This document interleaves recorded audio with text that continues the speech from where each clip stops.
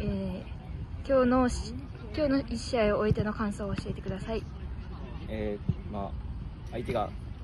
強いってことで、まあ、まず失点をゼロに抑えれたことは良かったですけど、まあ、決めれるチャンスあったんでそこを決めときたかったなと思います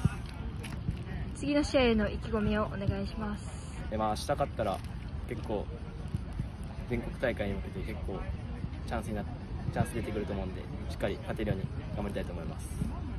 はいありがとうございます。